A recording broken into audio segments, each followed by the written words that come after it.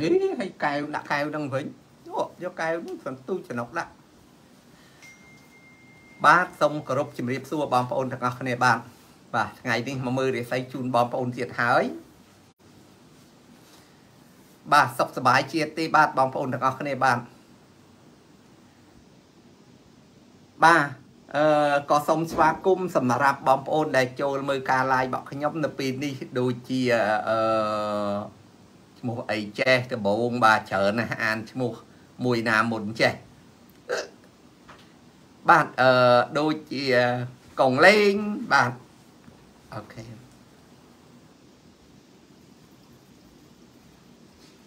បាទឈ្មោះកងលេងបាទសូមគោរពព្រមទាំងធារីកោះអញ្ញាតីបាទសូមជម្រាបសួរ បាទសុភាមាសសុភាបាទសូមជម្រាបសួរអាមុំក៏សូមគោរពបាទម៉ាក់សវណ្ណបាទក៏សូមជម្រាបសួរបាទយ៉ាងម៉េចដែរបងប្អូនទាំងអស់គ្នាបានហូបអាហារហើយអស់ហើយបងប្អូនណោះអាហារពេលល្ងាចម៉ោង7:08ហើយតាន់ហូបមិនកើតណោះបាទអឺគុណសុខាបាទក៏សូមជម្រាបសួរបាទ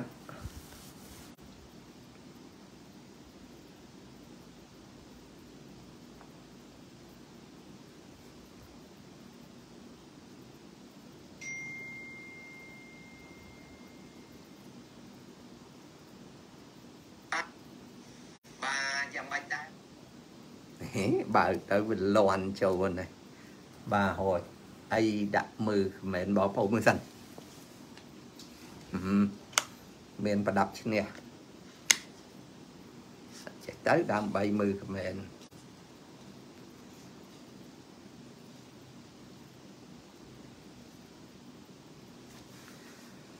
បាទឈៀនណារិនបាទក៏សូមគោរពជំរាបសួរបាទភ្នែកខ្ញុំហ្នឹងដូចជាស្វាំងស្វាំង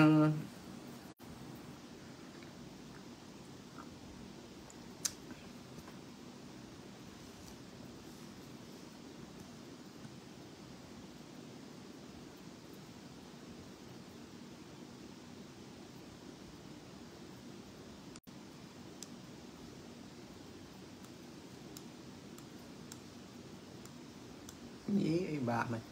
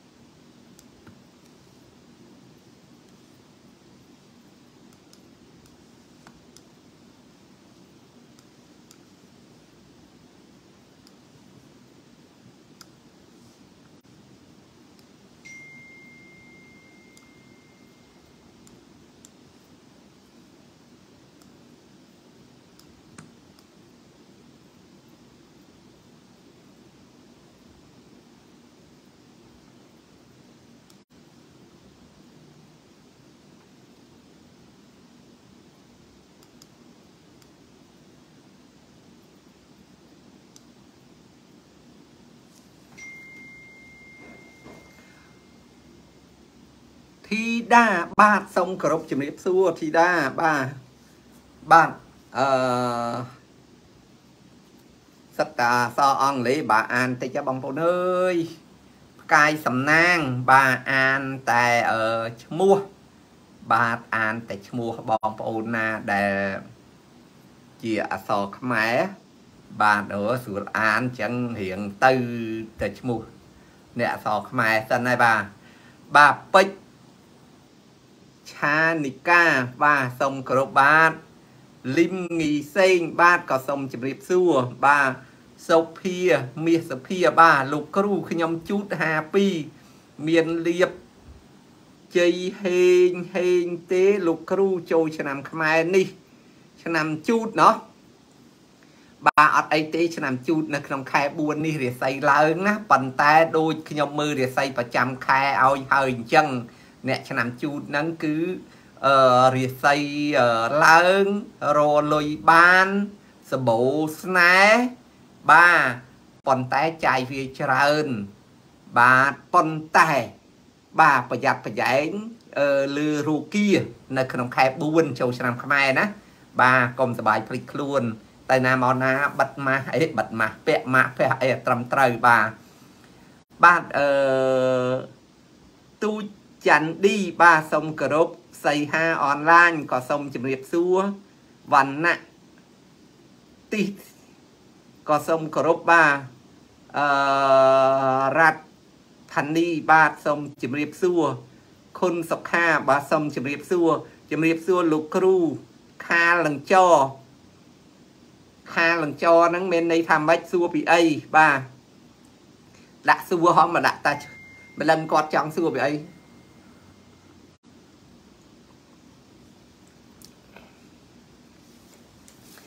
ខាលហើយនឹងចបើជើងលេខក៏ក៏ជាជើងលេខមួយល្អក្នុងដំណើរជីវិតគូសកលប្តីប្រពន្ធណា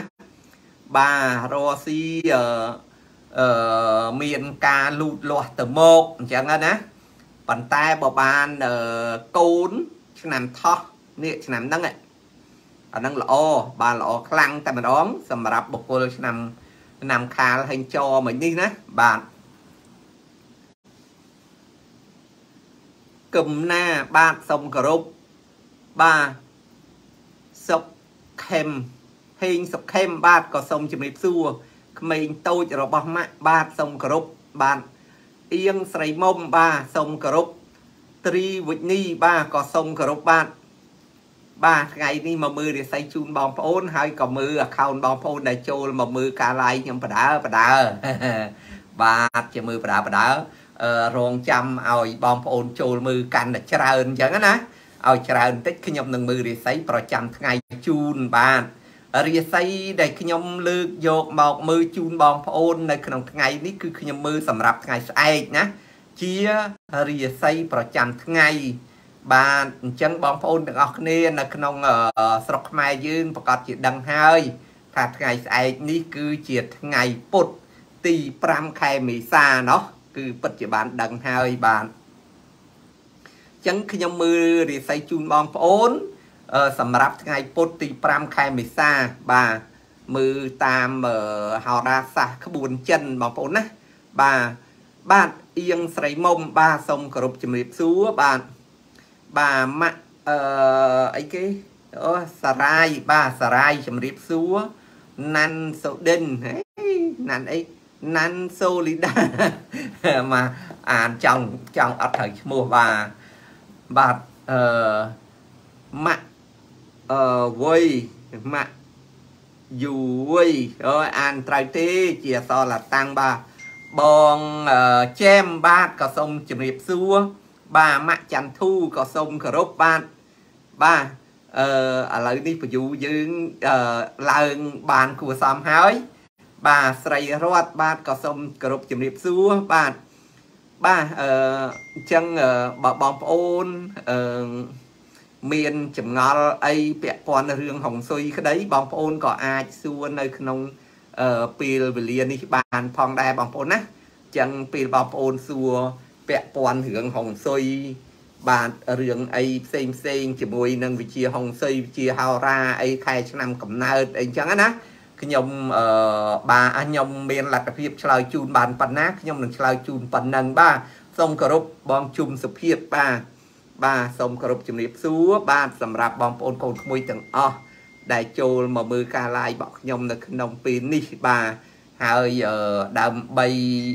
អឺឲ្យបញ្យូឡើងកាន់តែច្រើនបន្តិចលុះត្រាតែបងប្អូនជួយ share ណោះស្រីរតបាទក៏សូមគោរពជំរាបសួរមិនីបាទក៏សូមគោរពបាទចែនិត ទៀនកាំងបាទក៏សូមជម្រាបសួរបាទបាទអឺថ្ងៃនេះដែរគឺប្រធានបទដែលខ្ញុំលើកយកមកមើលរិស័យជូនបងប្អូន គឺមើលជូនសម្រាប់ថ្ងៃពុទ្ធទី5ខែមេសា បាទថ្ងៃពុទ្ធទី5ខែមេសា បាទធម្មតាចាប់ពីថ្ងៃនឹងទៅណាបងប្អូនណាចាប់ពីថ្ងៃនឹងតទៅគេហៅថា ជាខែរោងតាមក្បួនចិនណាចាប់ពីថ្ងៃហ្នឹងតែម្ដងបាទគឺថ្ងៃហ្នឹងតែម្ដងគឺជាខែរោងបាទអញ្ចឹងសម្រាប់ក្បួនចិនអឺគេទំចាប់ពីថ្ងៃហ្នឹងទៅទេបាទហើយបើក្បួនបើយើងមើលតាមខែបកបរាំងអីអាហ្នឹងគេចូលតាំងពីថ្ងៃទី1ទី2អីមកណែបាទចឹងខុសគ្នា បាទ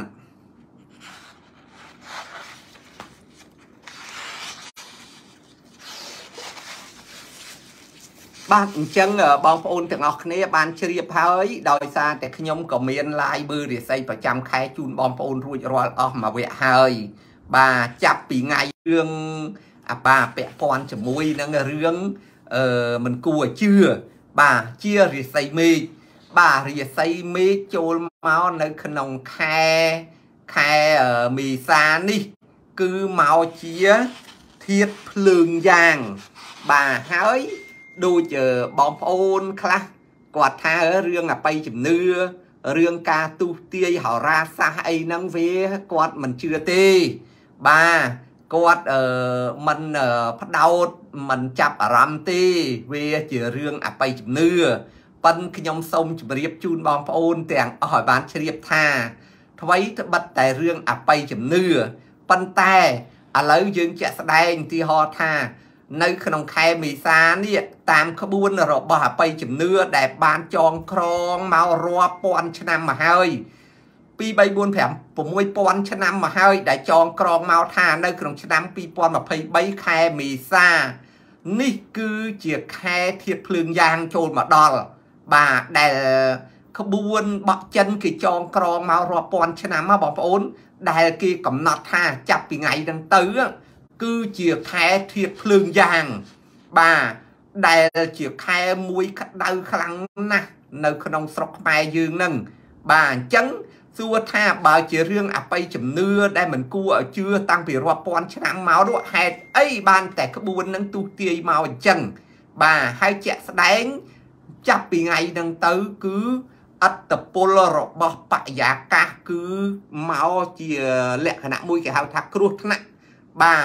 កម្មរស្មីព្រះអាទិត្យដែលមានពឹសបាទកម្មរស្មីព្រះអាទិត្យព្រមទាំងធាតុអាកាសបរិយាកាសមិនអំណោយផលទេបាទនៅក្នុងខែមេសាយើងនេះ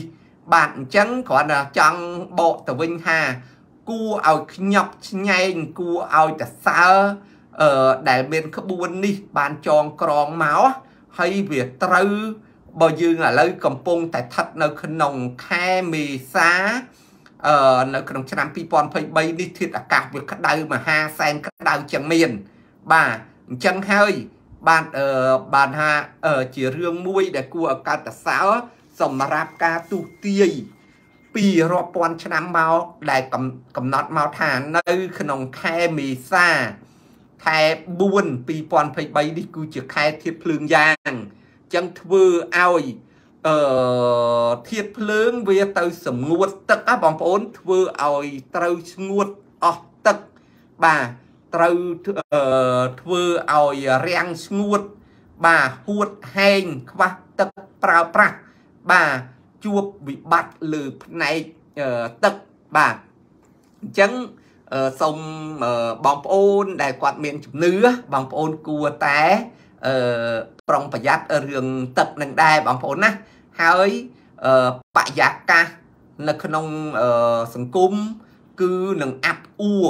ជួបជាមួយនឹងបរិយាកាសបរិយាកាសដែលមានជាតិពុល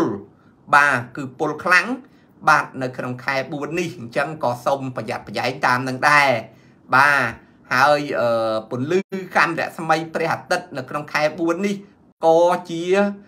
រឿងមួយគ្រោះថ្នាក់ដល់រូបរាងកាយស្បែកសម្បុរយើងផងដែរបាទនិយាយពីរឿងដល់ថាកម្មរស្មីព្រះអាទិត្យហ្នឹងណាដែលវាមានផលប៉ះពាល់មកដល់លើស្បែកសម្បុរបាទអញ្ចឹងសួរថាអឺនរណាបានដឹង គឺក្បួនគេបានដឹងហើយគេបានចងក្រង តាំងពីរាប់ពាន់មកហើយរាប់ពាន់ឆ្នាំមកហើយ បាទអញ្ចឹងហើយដូចជាខ្ញុំនេះដែលខ្ញុំបានសិក្សាវិជ្ជាក្បួនហ្នឹងខ្ញុំបានដឹងចឹងដល់ពេលយើងបានដឹងមុនគឺយើងត្រៀមបងប្អូន គឺយើងបានត្រៀមលក្ខណៈហើយជាស្រេចបាទគឺត្រៀមត្មងបាទពេលអញ្ចឹងបានសំបីតាពាក្យឆ្លោកអឺក៏យើងដឹងដែរថាបើយើងដឹងថានឹងមានរឿងអីកើតឡើងនៅថ្ងៃអនាគតយើងក៏ក៏មានឱកាស បាទត្រៀមលក្ខណៈការពារត្រៀមលក្ខណៈដើម្បីបំពេញតម្រូវការខ្វះខាត នៅពេលដែលពេលវេលានឹងចូលមកដល់បាទដូចទីហោថាប្រហែលខែទៀតដល់រដូវអីយើងត្រៀមនឹងដើម្បីអឺមានឱកាសលក់ដូររស៊ីមានបានចឹងទៅ បាទខែណាមានរឿងអីចូលមកយើងត្រៀមអ្វីដែលជាតម្រូវការនៅក្នុងខែនោះដើម្បីលក់ដូរយកលុយ បាទដើម្បីអឺគេហៅថាចាប់ឱកាសនឹងបានឈានទៅរកភាពសបោសបាយឈានទៅរកផុតពីទុកកង្វល់ទាំងអស់បាទអញ្ចឹងយ៉ាងណាមិញដូចជាខ្ញុំខ្ញុំបានដឹងហើយថានៅក្នុងខែ4ខែ5ចូលមកដល់នេះកម្លាំងអត្តពលកម្ដៅព្រះអាទិត្យនឹងធ្វើឲ្យស្បែកយើងនេះខូចនឹងធ្វើឲ្យស្បែកយើងកើតទៅជា មានបញ្ហាពាក់ព័ន្ធជាមួយនឹងកម្ដៅកម្ដៅព្រះអាទិត្យអញ្ចឹងខ្ញុំបានត្រៀមលក្ខណៈហើយជាស្រេចគឺខ្ញុំទៅប្រទេសបារាំងបាទគឺទៅដល់កន្លែងឡាបូដើម្បីទិញយកថ្នាំដើម្បីយកមកលាបការពារស្បែកការពារមុខបាទអញ្ចឹងដូចជាថ្នាំដែលការពារស្បែកការពារមុខនេះ ប្រហែលជា2 3ថ្ងៃទៀតនឹងមានអ្នកដែលគេដឹកជញ្ជូនយកមកឲ្យហើយបាទអញ្ចឹងនៅក្នុងខែ4នេះខ្ញុំបានត្រៀមហើយហើយដែលជារបស់គេហៅថាជារបស់ទឹកដែលការពារស្បែកមិនឲ្យជួមការពារស្បែកមិនឲ្យខ្មៅការពារស្បែកមិនឲ្យអាឡែស៊ីដោយអឺអឺកាំរស្មីព្រះអាទិត្យ យើងអាចលាបមួយថ្ងៃម្ដងព្រឹកព្រលឹមឡើងលាបទៅលាបទាំងមុខលាបទាំងខ្លួនលាបទាំងកន្លែងណា ដែលយើងគិតថាប៉ះនឹងកម្ដៅថ្ងៃយើងអាចលាបដើម្បីជួយការពារកម្ដៅព្រះអាទិត្យហើយក៏ជួយធ្វើឲ្យស្បែកយើងនៅតែមានសំណើមហើយអឺរៀងសស្អាតផូរផង់ជាងមុនទៀតបាទអញ្ចឹងអឺមួយរយៈកន្លងមកគឺខ្ញុំបានទៅដល់ក្រុមហ៊ុនដែលគេផលិត បាទផលិតអាអាគេគេហៅស្អីដូចយើងហៅថាលេអញ្ចឹងណាបាទដូចអានឹងគេហៅពាក្យបារាំងហើយក៏ពាក្យអង់គ្លេសគេហៅស្អីគេ lotion ណាមិនដឹងទេបាទចាំមើលអីវ៉ាន់មកដល់ចាំខ្ញុំយកបង្ហាញជូនបងប្អូនអញ្ចឹងខ្ញុំបាន order មកហើយត្រៀមទុកហើយព្រោះខ្ញុំដឹងថា ក្នុងខែ4នេះនឹងមានតម្រូវការលើស្បែកលើផ្ទៃមុខ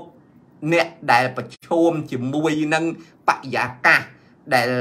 ជួបបញ្ហាអាប់អួរដោយពឹសបរិយាកាសពុល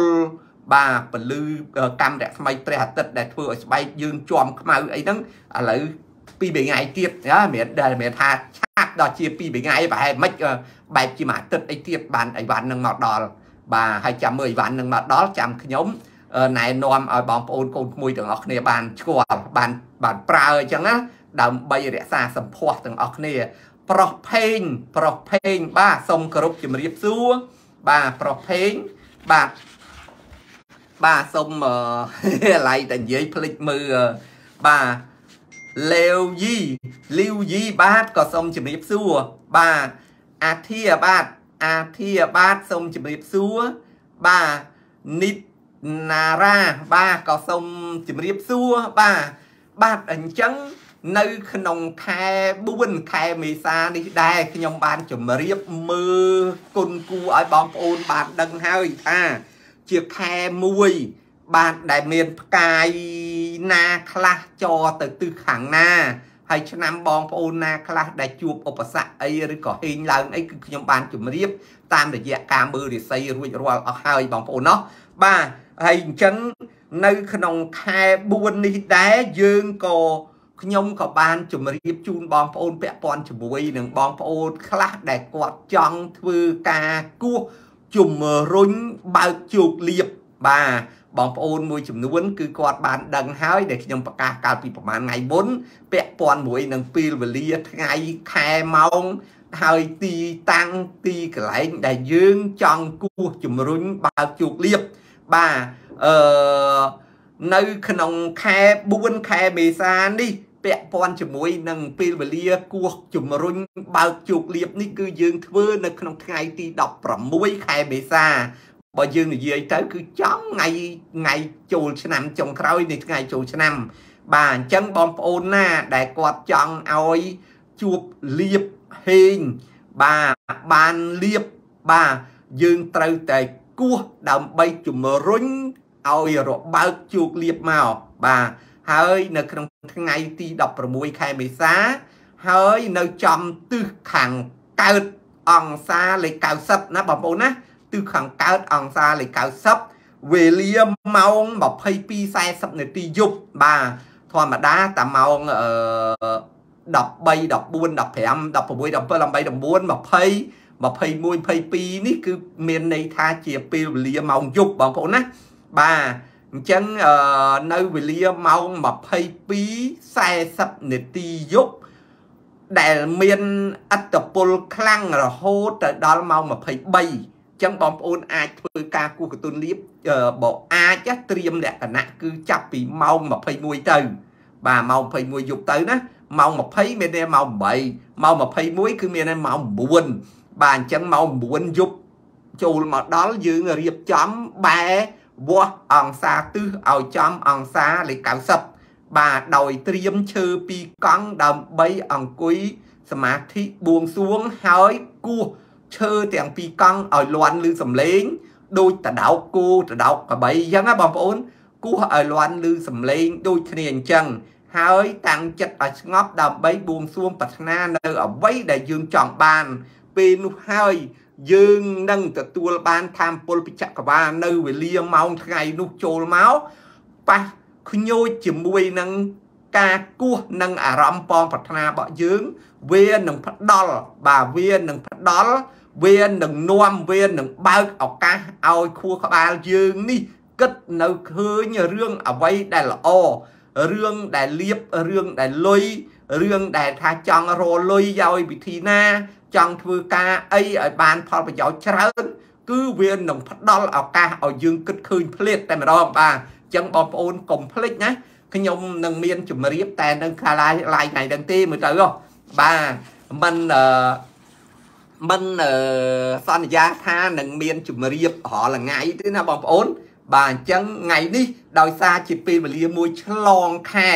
បាទថ្ងៃនេះថ្ងៃទី4គឺជាពេលវេលាខុសឆ្លងខែចូលទៅដល់ខែរូងចាប់ពីថ្ងៃហ្នឹងទៅបាទហើយចាប់ពីថ្ងៃស្អែកនេះគេហៅថាខែរូងពេញលក្ខណៈតែម្ដងបងប្អូនណាហើយគាត់ភ្ជួនថ្ងៃស្អែកដែលជាថ្ងៃ5មេសាគឺជាពេលវេលាល្អសម្រាប់បងប្អូនទូទាំងពិភពលោកធ្វើការបួងសួងបែបន់សែនជូនអ្នកមានគុណ ឬមួយក៏ទិសកសលបាំងឆ្កោជូនអ្នកដែលមានគុណដែលបានចែកឋានទៅ គឺវេលាថ្ងៃស្អែកចាប់ពីម៉ោង8ព្រឹករហូតដល់ម៉ោង11គឺជាពេលវេលាមួយពេញ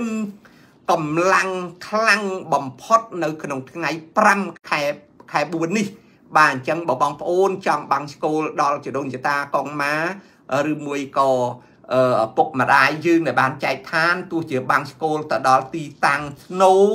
ឬមួយក៏បងប្អូនចង់ធ្វើការពិធីបងឆ្កូលនៅឯគេឋានហើយអញ្ជើញគោរពចដូនចតាកងម៉ាសាច់សាលោហិតបក់យើងចូលមកក៏បាន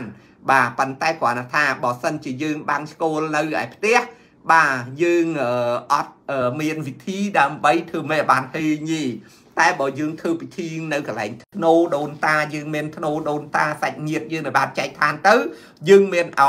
គេហៅថាមានឱកាសនៅក្នុងការធ្វើពិធីមួយចាប់យកជោគលៀបធ្វើឲ្យហេងឲ្យកម្មវិធីបួងសួងសែនឬក៏គេហៅថាឆេងមេងអីហ្នឹងនៅកន្លែងទីតាំងធ្នូទីតាំងចាយដីហ្នឹងគឺរងទទួលបានអត្តពលហេងមកខ្លាំងតែម្ដងសម្រាប់ បងប្អូនណាដែលបានចូលរួមក្នុងពិធីឆេងមេងដែលធ្វើទៅដល់ទីតាំងធ្នូបាទព្រោះតាមក្បួនហុងស៊ុយគឺមានវិធីដើម្បីធ្វើឲ្យបានហេងមកវិញ បាទប៉ុន្តែបើយើងធ្វើនៅផ្ទះជារឿងធម្មតាបាទអត់អត់អាចថាទទួលបានអត្តពលហេងពីចក្រគេហៅថាធម្មពលពីពីមេឃពីដីទេបាទ អញ្ចឹងសម្រាប់បងប្អូនភាគច្រើនគឺគាត់ដឹងហើយថ្ងៃស្អែកនេះគឺគាត់បានត្រៀមរៀបចំហើយជាស្រេចយ៉ាងណាមិញសំបីតែខ្ញុំក៏បានត្រៀមរៀបចំហើយជាស្រេចដើម្បីរៀបចំធ្វើពិធីនឹងណាបងប្អូនណាបាទរឿងបងប្អូនណាខ្លាចឆុងគឺជារឿងមួយຕົកដោយឡែកបើសិនជាបងប្អូនទាំងអស់បានបានដឹងបានយល់ហើយថាធ្វើម៉េចដើម្បីកុំឲ្យឆុងហើយវាបានហេងបាទបងប្អូនប្រកាសជាបានដឹងហើយ ព្រោះអឺមករយៈកាលនេះខាងខ្ញុំក៏បានជំរាបហូហែតាមការ live ក្តីតាមការផុសក្តីតាមក្តារអឺគេហៅថាជូនដំណឹងគ្រប់តាមប្រព័ន្ធអនឡាញនេះគឺបានច្រើនណាស់អញ្ចឹងធ្វើឲ្យបងប្អូនកូនក្មួយគ្រប់កន្លែងហ្នឹងគឺគាត់បានជ្រាបបានដឹងហើយម៉ាក់សៀងហឺបាទសូមគោរពបាទជំរាបសួរ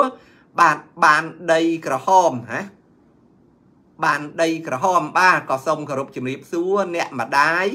ជាទីស្រឡាញ់បាទក៏សូមគោរពជំរាបសួរ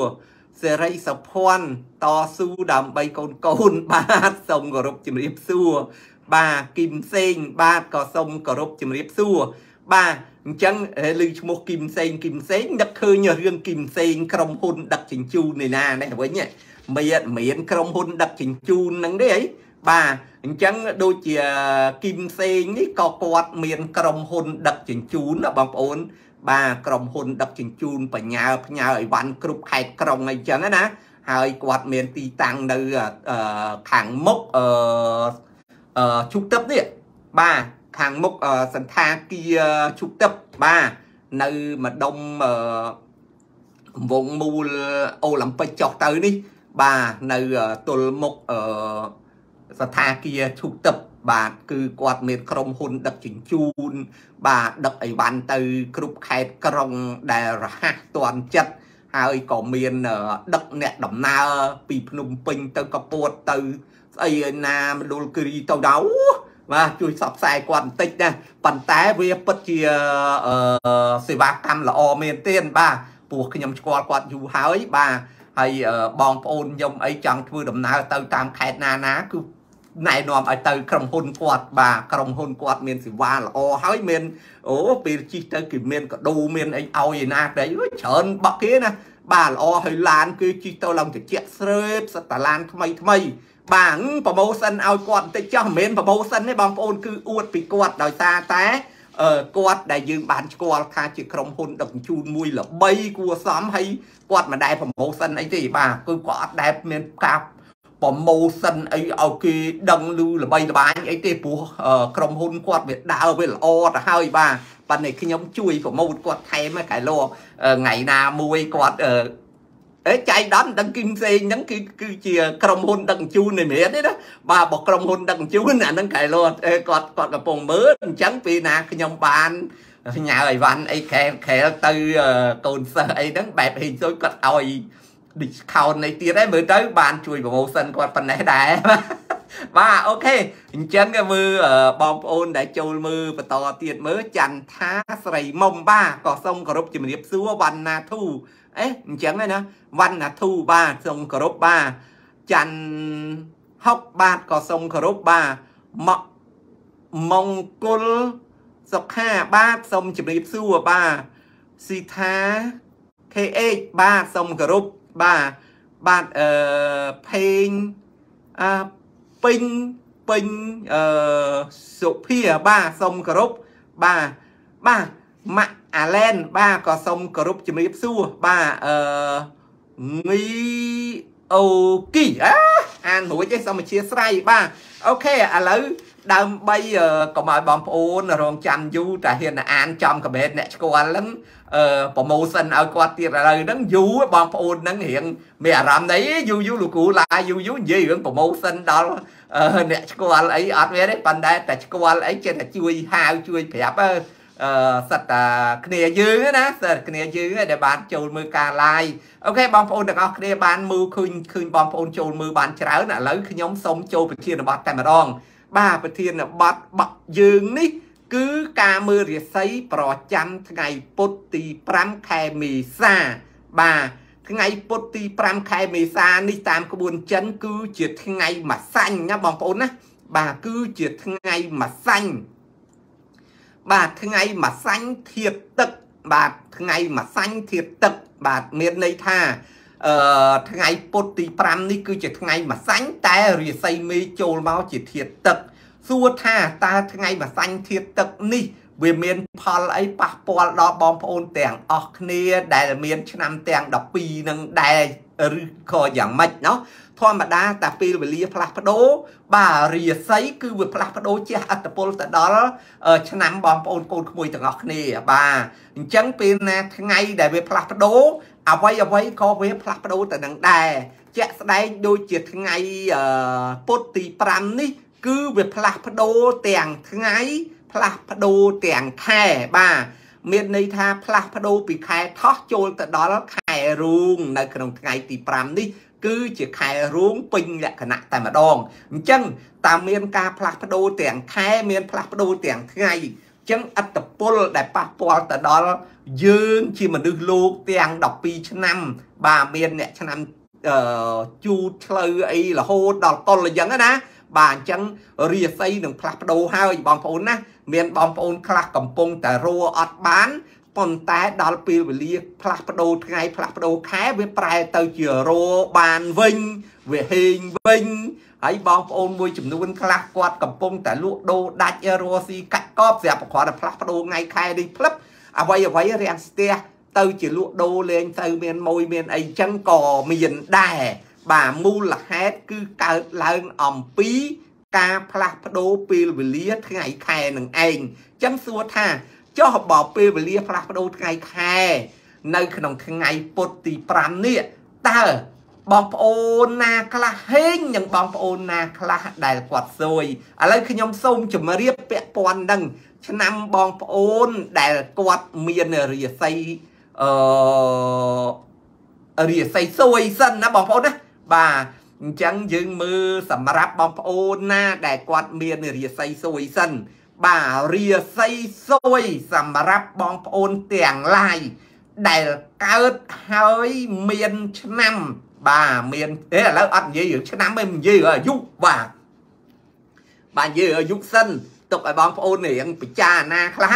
បងប្អូនសូមជួយ share ឡើងបន្តិចទៅដើម្បីឲ្យ comment អើដើម្បី view នឹងឡើងច្រើនបន្តិចហើយដល់ពេលខ្ញុំជម្រាបទៅគឺបងប្អូនដែលចូលក្រោយក្រោយគឺគាត់បានដឹងតែម្ដងណាបងប្អូនណោះបាទអូខេអញ្ចឹងដោយសារតែ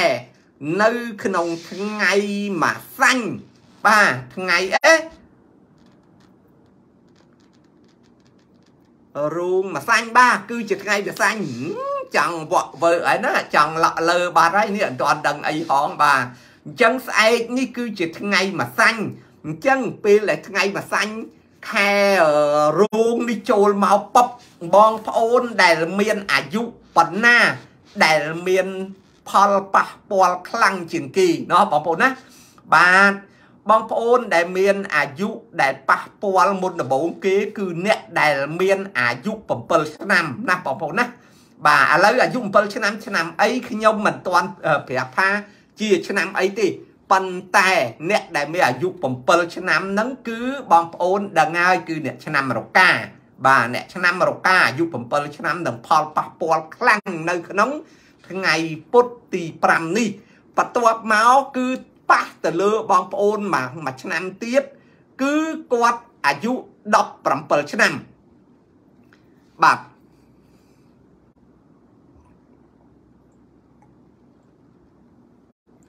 អ្នកដែលមានអាយុ17ឆ្នាំ គឺប៉ះពាល់អត្តពលប្រចាំថ្ងៃ ដែលឆុងគាត់គឺថ្ងៃស្អែកគឺជាថ្ងៃធាតទឹកយិនចូលមកដល់ រីឯបងប្អូនអ្នកមានអាយុ17ឆ្នាំនេះកូនអ្នកមានអាយុ17ឆ្នាំនេះ គឺគាត់មានរាសីធាតភ្លើងតេងអញ្ចឹងធ្វើឲ្យគាត់រងអត្តពលដោយធាតទឹកប្រចាំថ្ងៃនេះទៅពន្លិចទៅពលុតដួងរាសីបគាត់អត់ជឿអត់ប្រយោជន៍ខែឆ្នាំណាក៏ល្អដែរបាទបាទគាត់ សំណាងសំណាងគាត់ថាអត់ជឿអត់ប្រយោជន៍ខែឆ្នាំណាក៏ល្អដែរបាទតាមការពិតណាខែឆ្នាំណាក៏ល្អដែរអត់ខុសទេប៉ុន្តែអ្វីដែលមិនល្អគឺពេលវេលាដែលផ្លាស់ប្ដូរចូលមកហ្នឹងវាប៉ះទៅកិច្ចមួយហ្នឹងខែឆ្នាំរបស់យើងនឹងសម្រាប់ខែឆ្នាំយើងកើតមកមួយណាក៏ល្អដែរអត់មានមួយណាដែលអត់ល្អទេណាបងប្អូន ចឹងសំណាងសំណាងស្ដាប់បញ្យលខ្ញុំបញ្យលបន្តិចចោះថាថ្ងៃខែឆ្នាំកំណើតយើងដែលកើតមកថ្ងៃណាក៏ល្អដែរប៉ុន្តែអ្វីដែលមិនល្អពេលវេលា ផ្លាស់ប្ដូរប្រចាំខែប្រចាំថ្ងៃ ប្រចាំឆ្នាំដែលវាវិលជុំមកនេះវាវិលជុំប្រគប់មួយថ្ងៃ24ម៉ោង ឬមួយមួយខែឬមួយមួយឆ្នាំឬមួយ10ឆ្នាំ ម្ដងដែលវាវិលជុំមកហ្នឹងអាវិលជុំហ្នឹងគឺរង្វល់រង្វាស់បក់វាដែលធ្វើចលនាបងប្អូនណាមានន័យថាពេលដែលវាវិលជុំវិញព្រះអាទិត្យហ្នឹងវាមានកម្លាំងធម្មពលដែលខ្ចាយចេញពីផែនដីហ្នឹងមកធម្មតារបស់អីក៏ដែរឲ្យតែវិលមកគឺវាមានកម្លាំងវិលខ្ទាតចេញ ពេលដែលមានកម្លាំងខ្ទាតចេញពីផែនដីគេហៅថាធម្មពល ចាធម្មពលហ្នឹងវាមានធម្មពលធាតភ្លើងធម្មពលធាតដីធម្មពលធាតមាសធម្មពលធាតទឹកធម្មពលធាតឈើធម្មពលធាតអឺមាសស្អីចឹងទៅវាមាន5របស់ធម្មពលដែលជុំវិញយើងហ្នឹងអញ្ចឹងសួរថាពេលឆ្នាំយើងកើតនៅក្នុងថ្ងៃណាខែណាឆ្នាំណាហ្នឹងគឺកើតនៅពេលថ្ងៃណាមកគឺយើងគឺជាធាតហ្នឹង ដែលស្រូបយកធម្មពលចក្រវាបានមុនដំបូងគេហ្នឹងគឺធាតហ្នឹងចូលបោះស្គាល់ក្នុងរាងកាយយើងអញ្ចឹងធាតយើងហ្នឹងវាទៅស៊ាំមួយធម្មពលប្រចាំថ្ងៃប្រចាំខែប្រចាំឆ្នាំ ឆ្នាំណាធម្មពលអីមកត្រូវជាមួយនឹងធាតនៅក្នុងរាងកាយយើងធ្វើឲ្យអ្វីអ្វីគ្រប់យ៉ាងនៅក្នុងរាងកាយយើងវានឹងល្អទៅបាទតែបើធម្មពលថ្ងៃណាម៉ោងណាខែណាដែលមកប៉ះ ដូចទីហោថាឥឡូវអ្នកឆ្នាំបកាអាយុ7ឆ្នាំ ហើយព្រមទាំងអ្នកឆ្នាំកុលអាយុ17ឆ្នាំ ដែលគាត់មានធម្មពល ឆ្នាំបគាត់គឺជាធាតភ្លើងតេងអញ្ចឹងអាធាតភ្លើងភ្លើងហ្នឹងវាខ្លាចអីគេភ្លើងហ្នឹងគឺធម្មតាតាមានភ្លើងយើងផលិតភ្លើងបាន គឺយកទឹកយកមកផលិតភ្លើងអញ្ចឹងភ្លើងគឺវាខ្លាចភ្លើងគឺវាប៉ះទឹកវាអលត់ អញ្ចឹងដល់ខ្លួនឯងជាអ្នកធៀបភ្លើងដល់ថ្ងៃធៀបទឹកមកដល់ថ្ងៃណាធៀបទឹកមកអញ្ចឹងដល់ធៀបទឹកមកយើងជាភ្លើង គឺត្រូវតែខ្សោយត្រូវតែខ្សោយអណ្ដាតភ្លើង ត្រូវតែខ្សោយធម្មពលភ្លើង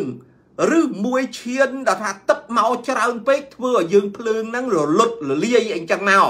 បាទអញ្ចឹងអានេះខ្ញុំឆ្លៀតឱកាសបញ្យលដល់បងប្អូនកូនក្មួយកូនសិស្សដែលមាននិស័យបានមើលបានឃើញខ្ញុំឡាយនេះឲ្យយល់ដែរណាបាទអញ្ចឹងអឺមនុស្សយើងម្នាក់ម្នាក់នេះ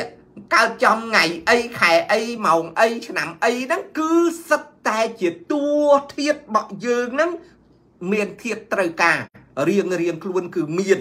ចឹងដល់ពេលថ្ងៃណាដែលមានធៀបអីមកពិឃាតធៀបត្រូវការរបស់យើងយើងក៏បាត់បង់ពេលដែលយើងបាត់បង់ធ្វើឲ្យភ្នែកធ្វើឲ្យសមោះដកដង្ហើមមាត់ថ្មិញបញ្ញាខួរក្បាល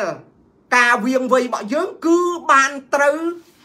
គ្របសង្កត់ដោយធម្មពលចក្រវាលហ្នឹងអញ្ចឹងធ្វើឲ្យយើងនឹងទុនខ្សោយនៅថ្ងៃនោះដែរបាទអញ្ចឹង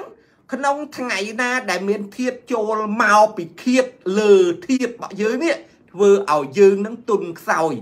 យ៉ាងណាមិញដូចជាបុគ្គលឆ្នាំរកាអាយុ7ឆ្នាំព្រមទាំងនឹងអ្នកឆ្នាំតុលអាយុ17ឆ្នាំសិតតែជាធៀបភ្លើងតេងបាទគឺជាធៀបភ្លើង ហើយស្រាប់តែថ្ងៃស្អែកដែលជាថ្ងៃម្សាញ់ហើយរាសីមេឃមកជាធៀបទឹក ចឹងធ្វើឲ្យគាត់ត្រូវបានទឹកពលុតគាត់ជាភ្លើងត្រូវបានពលុតដោយទឹកអញ្ចឹងហើយទើបរាសីគាត់វាធ្លាក់ណាបងប្អូនបញ្យលកន្លែងហ្នឹងឲ្យបងប្អូនយល់បន្តិចណាហើយបើបងប្អូនមិនជឿឬក៏មានចម្ងល់ចង់ប្រឆាំងចង់ខមមិនតវ៉ាអីបងប្អូនខមមិនតវ៉ាមកហើយបើសិនជាខ្ញុំមានលទ្ធភាពអាចបកស្រាយជូនបងប្អូន អាហ្នឹងខ្ញុំក៏បកស្រាយតាមដែលខ្ញុំដឹងណាបងប្អូនដោយសារតែការដឹងរបស់យើងក៏មានដឹងដោយការចេះតែនិយាយទេព្រោះយើងបានរៀនសូត្របាទយើងបានសិក្សាវិជាហុងស៊ុយអឺដែលយើងដែលគេចងក្តងជាក្បួនຂណាតមករាប់ពាន់ឆ្នាំមកហើយបងប្អូនណាបាទហើយខ្ញុំក៏បានរហូតដល់ចងក្រងជាសភៅហុងស៊ុយបាទ ជាសភៅហុងស៊ុយដែលខ្ញុំចងក្រងសម្រាប់ឆ្នាំ2023គឺខ្ញុំបានចងក្រងហើយជាសភៅហុងស៊ុយទៀតផង បាទចភៅដែលជំរុញជោគលៀបនេះបាទហើយក៏បានលក់ជូនឲ្យកូនសិស្សអូកូនសិស្សយកទៅប្រើច្រើនណាស់ទៅហើយបាទចភៅជំរុញជោគលៀបឆ្នាំ2023ហ្នឹងបាទអញ្ចឹងអត់មានរឿងនិយាយលេងផ្ដេសផ្ដាស់ទេអញ្ចឹងពាក់ព័ន្ធថាតើឆ្នាំណាខ្លះទៀតដែលសួយខ្លាំងទៀតទេបងប្អូនចង់ដឹងទេបាទឆ្នាំណាខ្លះទៀត ដែលសួយខ្លាំងបន្តទៀតយើងនិយាយរឿងឆ្នាំដែលសួយសិនណាហើយចាំនិយាយអំពីឆ្នាំអ្នកហេងវិញម្ដងបាទអញ្ចឹងអ្នកហេងចាំក្រោយគេក៏បានដែរណោះអាងតែខ្លួនឯងហេងនឹងចាំតិចទៅអញ្ចឹងអ្នកដែលសួយបន្តទៀតមានទៅដល់បុគ្គលដែលមានអាយុ27ឆ្នាំ បាទអាយុ27ឆ្នាំតើប៉ះទៅលើអ្នកឆ្នាំអីបងប្អូន តើប៉ះទៅលើអ្នកឆ្នាំអីចែលីនបោះដុំខោអាវគ្រប់ប្រភេទបាទសូមគោរពជំរាបសួរបាទបាទបុគ្គលដែលមានអាយុ27ឆ្នាំហ្នឹងក៏គាត់រាសីធៀបភ្លើងតេងដែរអញ្ចឹងនៅក្នុងថ្ងៃធៀបទឹកយិនចូលមកដល់គឺអាធៀបទឹកយិនហ្នឹងគឺមកប្រលត់គាត់មក បន្លត់មកពលុតភ្លើង នៅ ក្នុងដួងរិស័យគាត់ឲ្យឲ្យខ្សត់ខ្សោយឲ្យរលត់ណាมันអាចអឺមានកម្លាំងឆេះទៅបានអញ្ចឹងណាអញ្ចឹងបុគ្គលអាយុ27ឆ្នាំ គឺបុគ្គលឆ្នាំអីបងប្អូន គឺបុគ្គលឆ្នាំឆ្លូវបាទអញ្ចឹងបុគ្គលឆ្នាំឆ្លូវបាទនៅក្នុងថ្ងៃស្អែកដែលជាថ្ងៃពុទ្ធទី5ខែមេសានេះ ក៏ដួងរាសីធ្លាក់ខ្លាំងដែរណាអ្នកឆ្នាំឆ្លូវព្រមទាំងបុគ្គលឆ្នាំឆ្នាំអីទៀតដែលមានអាយុ37ឆ្នាំបាទ37ឆ្នាំមិញ27ឆ្នាំហើយណាអញ្ចឹងទៅដល់បុគ្គលដែលមានអាយុ37ឆ្នាំម្ដងបាទបុគ្គលដែលមានអាយុ37ឆ្នាំនេះក៏មានរាសីដាក់មិនធម្មតាដែរនៅក្នុងថ្ងៃស្អែក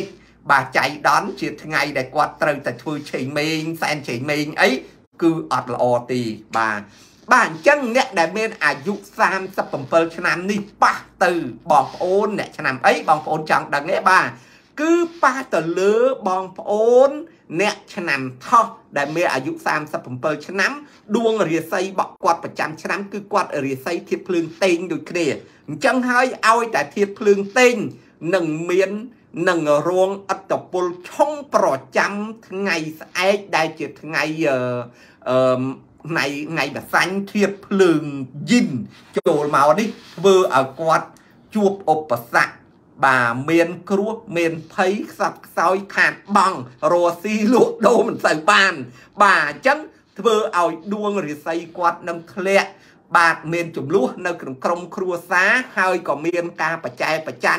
ប្រចាំប្តីប្រពន្ធកើតរឿងនៅក្នុងក្រមគ្រួសារដោយសារតែពាក្យសម្ដី បាទនិយាយស្ដីទៅធ្វើឲ្យគេខឹងធ្វើឲ្យគេបញ្ចូលចិត្តបាទលក់ដូរនិយាយទៅសោះកក្រោះធ្វើឲ្យមួយនឹងមិនសូវជាសុបាយចិត្តចឹងប៉ះទៅលើបុគ្គលឆ្នាំថោះដែលមានអាយុ37ឆ្នាំ មិនទាន់អស់ទេបងប្អូនណាហើយក៏ទៅទៅចង់ បុគ្គលមួយទៀតដែលមានអាយុ47ឆ្នាំដែរបាទអញ្ចឹងសួរថាអ្នកដែលមានអាយុ47ឆ្នាំនឹងគឺជាបុគ្គលឆ្នាំអីដែរបាទគឺជាបុគ្គលឆ្នាំម្សាញ់បាទដោយសារតែស្អែកក៏ជាថ្ងៃម្សាញ់ដែរបាទថ្ងៃម្សាញ់ហើយដួងរាសីបកគាត់ក៏ធៀបទឹកយិនបាទអាធៀបភ្លើងយិន ហើយវាប៉ះទង្គិចជាមួយនឹងធៀបទឹកយិនចូលមកនៅក្នុងថ្ងៃស្អែកនេះធ្វើឲ្យគាត់ជួបឧបសគ្គបាទធ្វើឲ្យគាត់មានការប្រកួតប្រជែងមានការឈ្នានេះ មានការចងគំនុំឆ្លោះជាមួយបងប្អូនភេទដូចគ្នា បាទដែលគាត់មានបងប្អូនភេទដូចគ្នាគាត់នឹងមាន ពាក្យសម្ដីទាស់បាទឆ្លោះប្រកែកបាទមិនចុះសម្រងគ្នានៅ ក្នុងថ្ងៃស្អែកហ្នឹងបាទអញ្ចឹងសម្រាប់បុគ្គលឆ្នាំបាសាញ់អាយុ47ឆ្នាំនឹងមានបញ្ហាទាស់ពាក្យសម្ដី ក្តៅកាហាយបាទក្អេងក្អាង បាទយកឈ្នះនិយាយដល់គ្មានហេតុផលគ្រប់បែបយ៉ាងហ្នឹងនាំឲ្យកើតទៅជាចំនួនបាទហើយធ្វើឲ្យ គាត់មានបញ្ហានៅក្នុងថ្ងៃស្អែកអញ្ចឹងបងប្អូនអ្នកឆ្នាំដូចខ្ញុំបានជម្រាបបើសិនជាបងប្អូនណា ជួបបើរឿងកើតឡើងនៅក្នុងថ្ងៃស្អែកដែលខ្ញុំបានជម្រាបនេះបងប្អូនគួរតែគួរតែអឺ feedback ឲ្យខ្ញុំវិញហងប៉ុន្តែសម្រាប់បុគ្គលឆ្នាំម្សាញ់និងឆ្នាំថោះដែលខ្ញុំនិយាយមិញនេះ អ្នកឆ្នាំម្សាញ់អាយុ47ឆ្នាំព្រមទាំងអ្នកឆ្នាំថោះអាយុ37ឆ្នាំនេះ មានតែពីរនឹងទេណាអ្នកដែលមានអាយុ37 47តែបើគេឆ្នាំថោះផ្សេង គឺគេហេងណាហើយអ្នកឆ្នាំម្សាញ់ផ្សេងពីអាយុ47គឺគេហេងណាខុសគ្នាណាបងប្អូន អត់ដូចគ្នាទេអញ្ចឹងមានន័យថាអ្នកម្សាញ់គ្រប់ម្សាញ់ទាំងអស់មានថា ដឹងតែសួយទេណាបងប្អូនណាត្រូវចាំឲ្យច្បាស់អ្នកម្សាញ់គ្រប់គ្នាលើកលែងតែម្សាញ់អាយុ47ឆ្នាំចេញបាទហើយនឹងថោះអាយុ37ឆ្នាំចេញបាទអានឹងទើបគាត់ ឆុងតែបើមានអ្នកដែលមានអាយុ37 37ទេគឺរាសីគឺហេងអញ្ចឹងខុសគ្នាបងប្អូនណាអ្នកមួយសាញ់ហើយអ្នកថោះដូចគ្នាតែរាសីខុសគ្នាអញ្ចឹងបងប្អូនចាំកន្លែងនោះច្បាស់កុំលឺខ្ញុំនិយាយដល់អូថោះហើយអញ្ចឹងភ័យ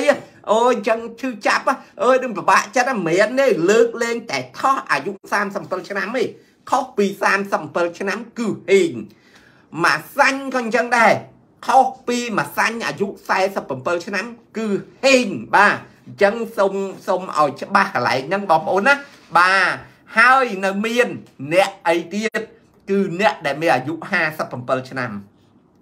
បាទអត់ទាន់អស់ហើយណានៅមានអ្នកអាយុ57ឆ្នាំថ្ងៃនេះគឺខ្ញុំឡាយជូនបងប្អូននេះគឺចសលិចឲ្យវាត្រូវតែម្ដងមិនចាំបាច់និយាយតែឆ្នាំមួយត្រួសទៅទាំងអស់ទេ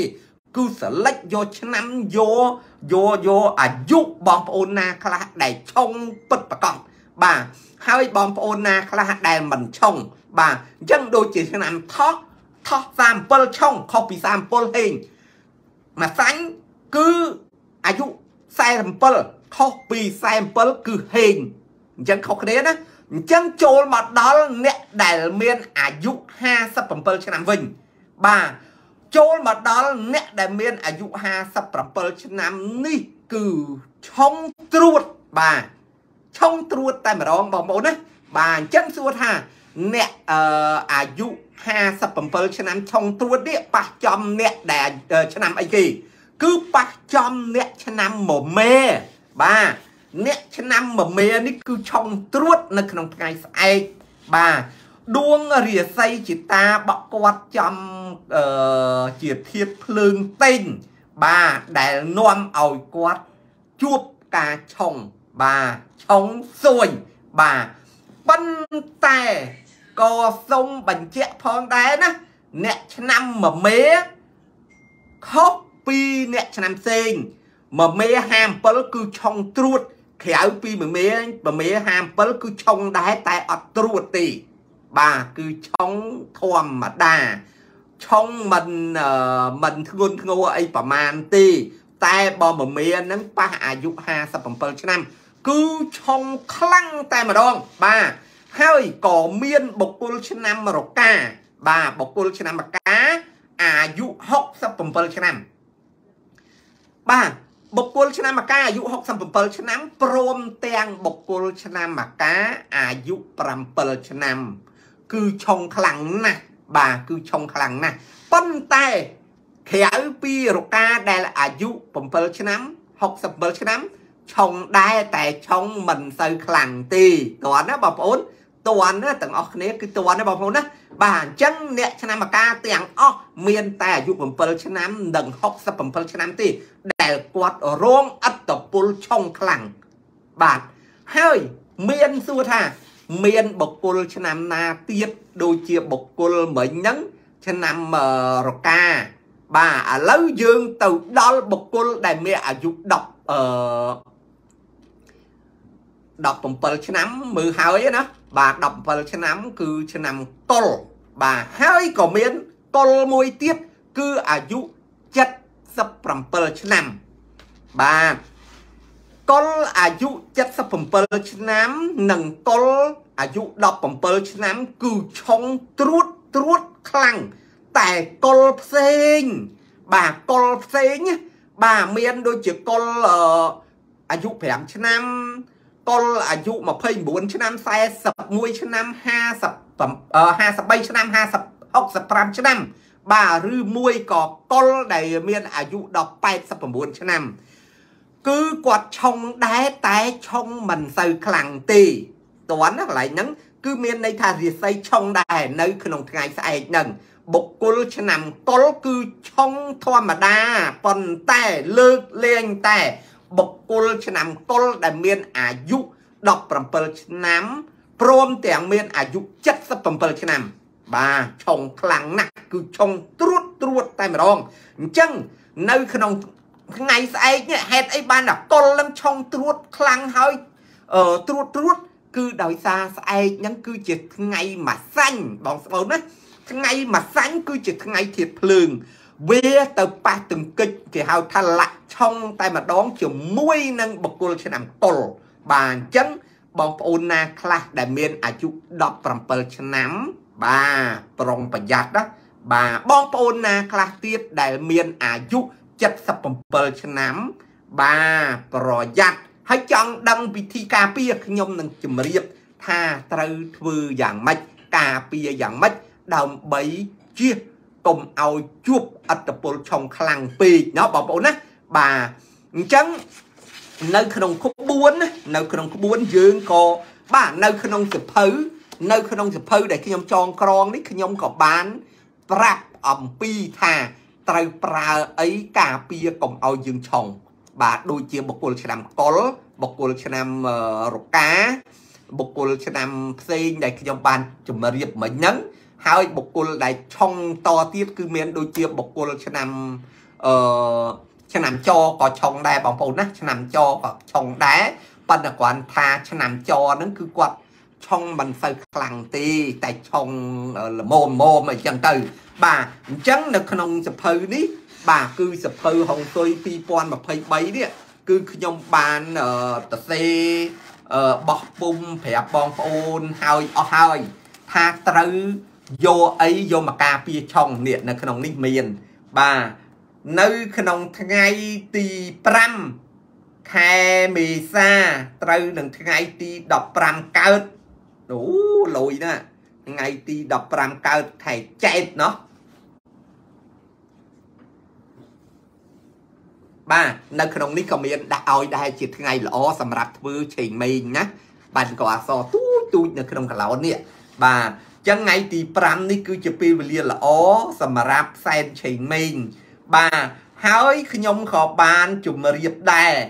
ថាប្រើពណ៌អីដើម្បីឲ្យហេងអើនឹងហើយឲ្យវាជួយជួយ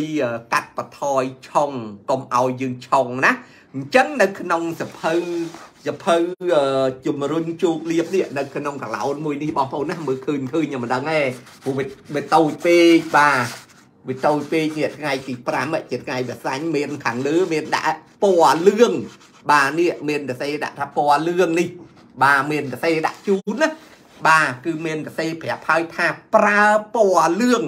តើពណ៌លឿងនឹងសំដៅទៅលើអីបាទពណ៌លឿងសំដៅទៅលើបើយើងប្រើសម្លៀកបំពាក់ ខោអាវសម្លៀកបំពាក់អាចជួយកាត់បន្ថយការឆុងបាទជួយកាត់បន្ថយការឆុងប្រចាំថ្ងៃទី5ខែ4នឹងបាន បងប្អូនណាដោយសារតែវាជាថ្ងៃម្សាញ់ធាតទឹកយិនហើយម្សាញ់នេះវាក៏តំណាងដោយជាថ្ងៃពោះធាតភ្លើងបាទ អញ្ចឹងភ្លើងនេះវាកកើតចេញមកទៅជាដីឯដីនេះវាទៅពលុតទៅពិឃាតទឹកបាទដីវាទៅពិឃាតទឹកបងប្អូនណាបាទអញ្ចឹងយើងប្រើពណ៌ធាតុដីដើម្បីយកនៅហេងមកវិញបាទអញ្ចឹងធម្មតាការទៅសែនធ្នោ ធម្មតាការទៅសែនធ្នោបើតាមប្រពៃណីទំនៀមទម្លាប់គឺគេឲ្យយើងឆ្លៀកពាក់សម្លៀកបំពាក់អឺពណ៌ខ្មៅឬមួយក៏ពណ៌សបាទដើម្បីឲ្យគេមើលទៅដឹងថាជាថ្ងៃដែលយើងកាន់ទុកជាថ្ងៃដែលយើងគេហៅថាចង្អេះចង្អោចអឺសង់និមង់អីចឹងណា ប៉ុន្តែនៅក្នុងក្បួនហុងស៊ុយខុសពីទំនៀមទម្លាប់ខុសពីប្រពៃណីក្បួនហុងស៊ុយគឺបើយើងត្រូវការការពារឆុងហើយឲ្យទៅជាហេងវិញត្រូវប្រើពណ៌លឿងបងប្អូនណាពណ៌លឿងនេះយកទៅបថយធម្មពលធាតុភ្លើង ដែលភ្លើងម្សាញ់ហ្នឹងហើយអានឹងសម្រាប់បុគ្គលញ៉ាំកុលទេណាបាទហើយ អាភ្លើងអាពណ៌ធាតុដីពណ៌លឿងនេះវាទៅពិឃាតទឹកបាទអញ្ចឹងដីពិឃាតទឹកបានមកជាលៀបអានេះសម្រាប់បុគ្គលឆ្នាំកុលគឺត្រូវការចាំបាច់តែម្ដងប្រើពណ៌លឿងតែបើខុសពីឆ្នាំកុលក៏យើងប្រើពណ៌លឿងដើម្បីបានជាលៀបមកដែរណាអញ្ចឹងបងប្អូនរាប់រយនាក់ដែលកំពុងមើលការ live របស់ខ្ញុំនេះ បើសិនចៃដនស្អែកយើងទៅរៀបចំសែនឆេងមេងបាទបើចៃដនណារៀបចំសែនឆេងមេងចដូនជីតាកងម៉ាអីចឹងណាហើយយើងចង់កុំឲ្យថាទៅសែនហើយបែរជាมันអស់ចិត្តខ្លាចឆុងខ្លាចមិនល្អបាទអញ្ចឹងយកល្អប្រើសម្លៀកបំពាក់ពណ៌លឿងបាទបើមិនបានអាវលឿងក៏បានខោលឿង បើមិនបានខោលឿងក៏បានលីអូអាវក្នុងអីនឹងពណ៌លឿងដែរអញ្ចឹងណាដើម្បីទទួលបានភាពហេងចូលមកវិញខ្លះខ្លះហើយមិនទទួលសម្ពាធនៃអត្តពលធម្មពលឆុងប្រចាំថ្ងៃចូលមកដល់ដួងរិស័យរបស់យើងទេបាទអញ្ចឹងបើបងប្អូនជឿបងប្អូនធ្វើតាមទៅណាបងប្អូនណាហើយខ្ញុំក៏ខ្ញុំ សែនឆេងមេងដែរណាកុំឃើញមុខខ្មៅខ្មៅតែខ្ញុំសែនឆេងមេងដែរណាស្អែកហ្នឹងខ្ញុំក៏ក៏សែនខ្ញុំក៏ប្រើលឿងដែរបាទបាទអញ្ចឹងអឺបងប្អូនដែលមានរាសីមិនល្អនៅក្នុងថ្ងៃស្អែកនេះមានដូចជាបុគ្គលឆ្នាំមមេបុគ្គលឆ្នាំរកាហើយបុគ្គលឆ្នាំកុលនិងបុគ្គលឆ្នាំច ប៉ុន្តែឆ្នាំណាដែលមិនល្អកម្រិតណាខ្លាំងប៉ុណ្ណា គឺខ្ញុំបានជម្រាបហួអែហើយបងប្អូនណោះបាទអញ្ចឹងចង់ដឹងថាចោះបុគ្គលដែលគេមានរាសីឡើងនោះតើបុគ្គលឆ្នាំអីខ្លះបងប្អូនណាបាទអញ្ចឹងបុគ្គលដែលគាត់មានរាសីឡើង បាទគឺបុគ្គលឆ្នាំ អ្នកឆ្នាំជូតបងប្អូនណា បាទអ្នកឆ្នាំជូតហើយក៏បានទៅលើបុគ្គលឆ្នាំឆ្លូវបាទហើយក៏បានទៅបុគ្គលឆ្នាំអឺអេឆ្នាំហ្នឹងហើយឆ្នាំជូតឆ្នាំឆ្លូវឆ្នាំថោះបាទឆ្នាំថោះលើកលែងតែថោះមិញខ្ញុំបានប្រាប់37ឆ្នាំណាបាទលើកលែងតែថោះ37ឆ្នាំហ្នឹងទើបគាត់ឆុងតែបើខុសពីថោះ37ឆ្នាំគឺគឺហេង ហើយក៏បានទៅបុគ្គលឆ្នាំរោងបាទបុគ្គលឆ្នាំរោងគឺគ្រប់បុគ្គលឆ្នាំរោងទាំងអស់គឺរាសីគីហេងណាបងប្អូនណារាសីគីឡើង បាទហើយក៏បានទៅលើបុគ្គលឆ្នាំម៉ាសាញ់ប៉ុន្តែដូចខ្ញុំបានជម្រាបអញ្ចឹងអ្នកឆ្នាំម៉ាសាញ់ណាលើកលែងអ្នក47ឆ្នាំចេញបាទអ្នកឆ្នាំម៉ាសាញ់ខុសពីអាយុ47ឆ្នាំគឺគេហេង តែបើអ្នកឆ្នាំអាសាញ់អាយុ47ឆ្នាំ គឺគាត់លេខដាក់លេខធ្លាក់លេខឆុងណាហើយក៏បានទៅលើបុគ្គលឆ្នាំវោកផងដែរបាទបុគ្គលគេឆ្នាំវោកនេះរាសីគឺគឺគឺគេហេងបាទរាសីគេគេឡើង បាទអញ្ចឹងមានដូចជូតថោះរោងអឺឆ្លូវព្រមទាំងម្សាញ់វោកគឺរាសីគេឡើង រាសីឡើងនេះគឺថ្ងៃស្អែកនេះគឺគេអាចបាទគឺអាចត្រូវប៉ាន់លក់ដូរចំនួនឬមួយក៏ការធ្វើចំនួនចិត្តឆ្ងាយក្តីនៅកន្លែងណាក៏ដោយបុគ្គលទាំង6ឆ្នាំដែលខ្ញុំបានជម្រាបនេះថ្ងៃស្អែកគឺជាពេលមួយជាឱកាសល្អសម្រាប់គាត់លក់ដូរដាច់ចំណេញលុយច្រើនច្រើនតែម្ដងហើយបើគាត់មានតំណែងតំណងចរចាពិភាក្សា អឺជាមួយនឹងអតិអតិជនតូចធំចិត្តឆ្ងាយអីហ្នឹងនៅក្នុងថ្ងៃស្អែកនេះគឺជាឱកាសមួយល្អពិភាក្សារឿងអីក៏មានផលចំណេញពិភាក្សារឿងអីក៏បានជោគជ័យបានជ័យជំនះដែរហើយបើសិនជាយើងចង់ថាចុះកិច្ចសន្យាជាមួយមួយឬមួយជាមួយអឺសាច់ឈាមរបស់យើងអីនេះណា បាទយើងក៏អាចណាយើងក៏អាចចុះកិច្ចសន្យាឬមួយក៏ដាក់អឺទុនរៀបចំពង្រីកមុខរបរយើងឬមួយក៏រើសចំថ្ងៃស្អែកនេះរើសចំថ្ងៃស្អែកនេះបើកហាង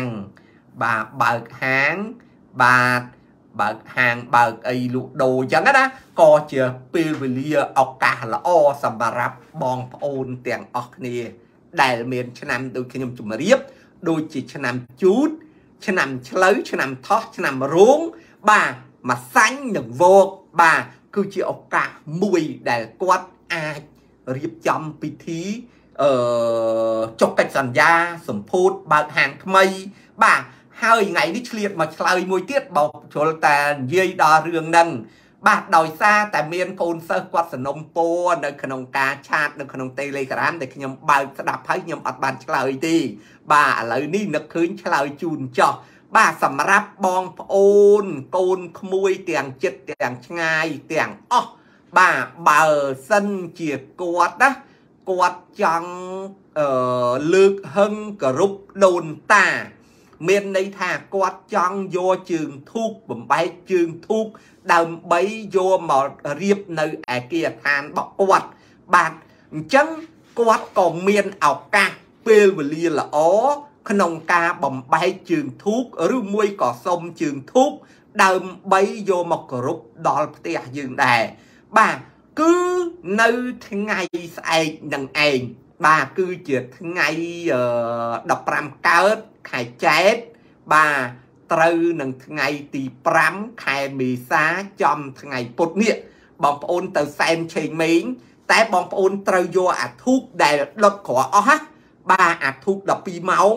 បាទយើងយកធូប12ម៉ោងហ្នឹងយើងដុតណាដុតតែមួយសរសៃក៏បានដែរបាទដុតតែមួយសរសៃហ្នឹងហើយ ពេលដែលយើងសែនដុតกระดาษសែនរួចរាល់អស់ហើយយើងមិនបាច់បញ្ញាពេបងប្អូនគ្រាន់តែលើកយកកំប៉ុងជើងធូបដែលយើងអុជធូបដាក់អាអាអាធូបដែលមាន12ម៉ោងហ្នឹងដោតធូប12ម៉ោងឬ8ម៉ោងហ្នឹងហើយយើងរៀបមកផ្ទះយើងសុំយកជើងធូបនឹងត្រឡប់មកផ្ទះមកបាទសុំយកជើងធូបនឹងត្រឡប់មកផ្ទះមក ហើយរៀបហឹងហឹងចដូនចតាមួយដើម្បីដាក់ជើងធូបហ្នឹងហើយយើងធ្វើការគោរពអឺសដូនស្តាយើងចាប់ពីថ្ងៃស្អែកនឹងបានដូចគ្នាបាទអញ្ចឹងជាឱកាសល្អសម្រាប់បងប្អូនណា ដែលគាត់ចង់គោរពដូនតាគោរពចង់អឺគេហៅថារៀបហឹងដូនតាគោរពនៅឯគាឋានផ្ទាល់ខ្លួនជួនកាលទៅគាត់ថាអើយទៅសែននៅផ្ទះបង រៀងប្របាកទៅសែនជាមួយនឹងផ្ទះម៉ាក់ប៉ានៅឯខេត្តប្របាកចឹងជាឱកាសដែលគាត់ទៅសែនឆេងមេងដល់ធ្នូដូនតាហើយទៅសុំយកជើងធូបពីធ្នូដូនតាយកមកបាទកុំឲ្យធូបនឹងរលត់យកមកតាមផ្លូវយកមកដល់ផ្ទះបាទព្រោះធូបយើងមានអាធូប8ម៉ោងឬ12ម៉ោង15ម៉ោងអញ្ចឹងយកយើងយកអាធូបនឹងយកមកប៉ុន្តែនៅមាន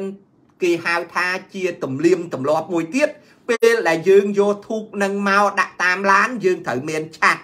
បាទយើងត្រូវមានឆាត់បាំងបាទបាំងធូបនឹងបាទបាំងធូបនឹងមានឆាត់បាំងពីលើមកបាទហើយបើបានឆាត់ពណ៌សកាន់តែប្រពៃណាបងប្អូនណាបាទអញ្ចឹងសម្រាប់បងប្អូនដែលចង់បំបែកជើងធូបអូខេនេះជាឱកាសល្អមួយ ដោយសារតែមាន comment សួរនៅក្នុង Telegram ហើយខ្ញុំអត់បានឆ្លើយឥឡូវខ្ញុំជ្រាបឆ្លើយនៅក្នុងការ live នឹងទៅចោះបាទអូខេអញ្ចឹង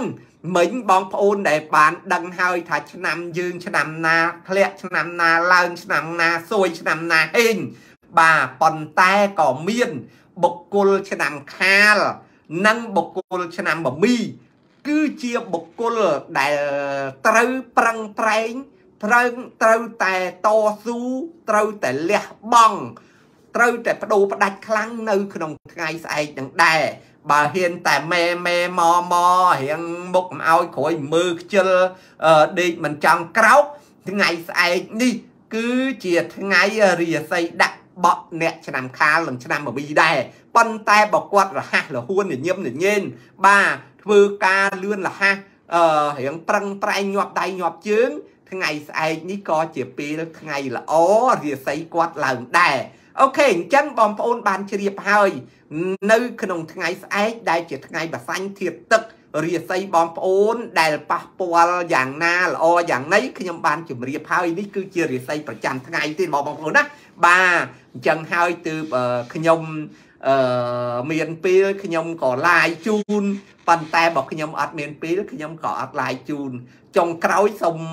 ណែនាំបន្តិចបងប្អូនណាដោយសារតែខែ4ចូលមកនេះគឺជាពេលវេលាខែដែលក្តៅបាទខែដែលធៀបភ្លើងយ៉ាងចូលមកគឺមានកម្ដៅខ្លាំងហើយកាំរស្មីកម្ដៅព្រះអាទិត្យនេះ វានឹងធ្វើឲ្យស្បែកមុខយើងជាំឬមួយក៏ខូច ឬមួយក៏ព្រឹត្តិកម្មធ្វើឲ្យកើតរោគហើយដៃជើងរូបរាងកាយយើងកន្លែងណាក៏ដោយឲ្យតប៉ះជាមួយនឹងធាតុអាកាសកម្ដៅព្រះអាទិត្យវានឹងនាំឲ្យយើង ជួបបញ្ហាស្បែកសម្បុរអាចជាំអាចខ្មៅអញ្ចឹងប្រហែលជា4 5ថ្ងៃអីទៀតខ្ញុំមានផលិតផលដែលយកមកពីប្រទេសបារាំងបាទយកមកអត់ច្រើនទេបាទព្រោះខ្ញុំយកមកយកត្រៀមឲ្យប្រពន្ធកូននិងឪពុក ហើយនឹងខ្លួនខ្ញុំប្រើប៉ុន្តែឆ្លៀតឱកាសដើម្បីណែនាំទៀតទៅកែលោកបងប្អូន ដែលគាត់មានតម្រូវការខ្លាចខូចស្បែកហើយអាថ្នាំដែលយើងយកមកលាបហ្នឹងมันត្រឹមតែការពារមិនឲ្យស្បែកយើងខូចទេវានឹងធ្វើឲ្យស្បែកយើងហ្នឹងមានសំណើមហើយលលងសភ្លឺទៀតផង បាទអញ្ចឹងខ្ញុំគិតថាមានប្រយោជន៍ខ្លាំងណាស់ សម្រាប់បងប្អូនមិនថាបងប្អូននេះសំបីតែខ្លួនខ្ញុំនិងក្រុមគ្រួសារខ្ញុំត្រូវតែយកមកចែកគ្នាប្រើប៉ុន្តែទោះយ៉ាងណាក៏ដោយគឺខ្ញុំយកមកចំនួនច្រើនគួរសមអាចហ្នឹងហើយអាចលក់ជូនសម្រាប់បងប្អូនណាដែលគាត់មាននិស្ស័យចង់ប្រើចង់អីដែរអញ្ចឹងណាបាទហើយសង្ឃឹមថាបើបងប្អូនមានតម្រូវការចង់ប្រើចង់សាកអាចជាវពីខ្ញុំបានណាប៉ុន្តែមិនទាន់មានទេបាទអត់ទាន់មានអត់ទាន់មកដល់ ចាំឲ្យមកដល់សិនព្រោះអឺខ្ញុំមកមុនហើយឲ្យបានហ្នឹងខ្ញុំផ្ញើតាមការដឹកជញ្ជូនជាក្រោយ បាទអីក៏វាមិនបានច្រើនប៉ុន្តែថ្មីត្បិតតែទិញមិនបានច្រើនប៉ុន្តែបើតម្រូវការបងប្អូនណាគាត់ត្រូវការច្រើនយើងអត់មានប្របាកអេយើងមាន Telegram តំណតំណងគ្នាផ្ញើកំង order មកប្រមាណក៏បានដែរបាទអញ្ចឹងអត់មានប្របាកបើសិនជាមានតម្រូវការបងប្អូនទិញច្រើន ខ្ញុំ order យកមកលក់បានកម្រៃបានចំណេញគ្រាន់ធ្វើអ្នកមានគេបាទអូខេអញ្ចឹងថ្ងៃនេះឆ្លៀតឡាយជូនបងប្អូន តែត្រឹមប៉ុណ្ណេះទេមើលទៅខមមិនបងប្អូនក៏ដូចអត់មានខមមិនអីសួរអីទៀតដែរបងប្អូនណោះបាទម៉ាក់ហេងលីណាបាទនិងម៉ាក់ស្រីនិតបាទហើយនិងស្រីពៅស៊ីមគៀវបាទតុកកៃអង្គរជុំបាទក៏សូមអរគុណសម្រាប់ការចូល តាមដានការ live របស់ខ្ញុំនៅក្នុងរាត្រីនេះ សង្ឃឹមថាអឺយើងនឹងបានជួបគ្នា នៅក្នុងការ live អឺពេលថ្ងៃស្អែកទៀតបងប្អូនណាសង្ឃឹមថានឹងបានជួបគ្នា នៅក្នុងការ live នៅក្នុងថ្ងៃស្អែកទៀតបាទអឺបើសិនជាខ្ញុំមានពេលខ្ញុំនឹង live ជូនបងប្អូន នៅរិស័យប្រចាំថ្ងៃ បន្តទៅទៀតបងប្អូនណោះបាទអរគុណច្រើនសម្រាប់បងប្អូនទាំងអស់គ្នាបានចូលអឺរួមអឺមើលការ live របស់ខ្ញុំមានតែប៉ុណ្្នឹងទេហើយ comment ដូចជាអត់មានបងប្អូន comment អីសោះបាទប៉ុន្តែបើមានខ្ញុំក៏ឆ្លើយដែរប៉ុន្តែអត់មានអញ្ចឹងមានតែត្រឹមប៉ុណ្្នឹងទេបងប្អូនណោះខ្ញុំក៏សូមអរគុណសម្រាប់ការ live សូមជូនពរអឺសូមឲ្យបងប្អូនជួបប្រទេសតែសេចក្តីសុខ រស់ស៊ីមានបានគ្រប់ក្រុមគ្រួសារOK សូមអរគុណច្រើន OK សូមអរគុណច្រើន bye bye